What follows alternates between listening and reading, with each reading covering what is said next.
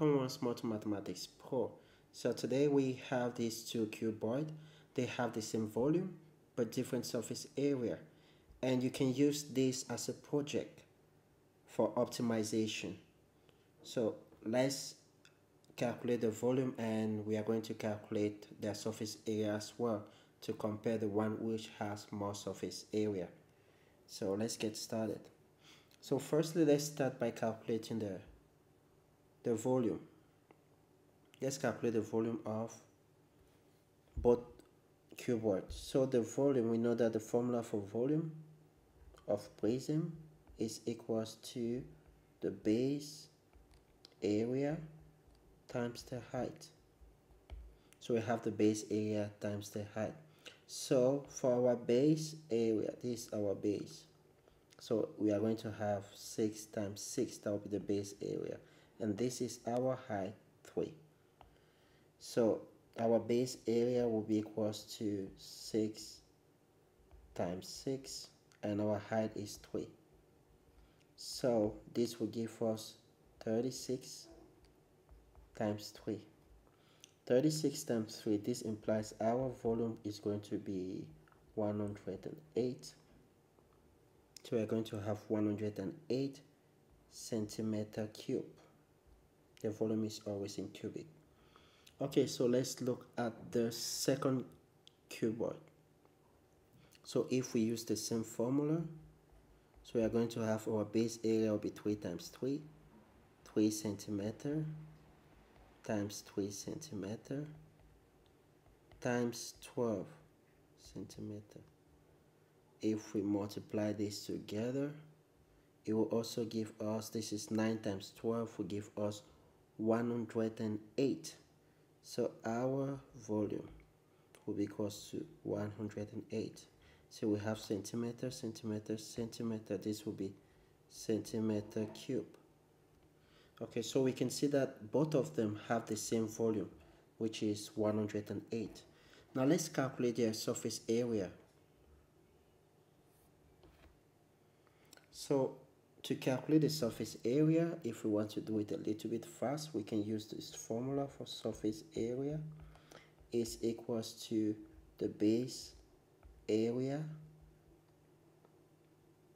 plus the perimeter of the base times the height. So again, we have the base area plus the perimeter of the base times the height. So our base area will be the same as 6 times 6, 6 times 6, plus, if we want to calculate the perimeter, the perimeter of the, this is a cube since it is 6 times 6, a square, sorry, the perimeter of a square. So we have 6 plus 6 plus 6 plus 6. Since it's a square, we are going to have 4 times 6. So the our perimeter will be equal to 4 times 6. Or you can write 6 plus 6 plus 6 4 times, but it's better to write 4 times 6 times our height is 3.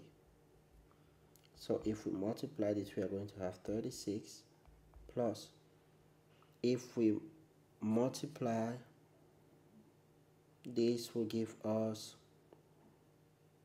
24 times 3 so this will be equal to 24 times 3 so if we 24 times 3 will give us 72 we are going to have 36 plus 72 if we add this together we are going to have 108 so this will be 108 centimeter square. So in this figure the volume is 108 centimeter cube but our surface area is 108 centimeter square. So let's calculate the surface area of this last figure. So if we use the same formula, surface area will be we only have one base because remember that this is open. So the top is open. We cannot calculate the area, the surface area of this top because there's no material was used no material was used so this is an open top so we focus only on one base so we are going to have 3 times 3 3 times 3 plus perimeter of perimeter of the base so if we want to look for the perimeter of the base as I said this is 3 centimeter 3 centimeter perimeter is the total distance around. So we are going to have sorry. We are going to have 4 times 3 times the height. Base area perimeter of the base times the height. Our height is 12 you can use other method to calculate the surface area but I prefer using this. So if we multiply this we are going to have 9 plus we multiply this we are going to have 12 times 12 12 times 12 is 144 144 plus 9 will give us 153 so our surface area here will be equals to 153 centimeters square so to conclude this we can see that both of them they have the same volume. The same volume is equals to 108 centimeter cube.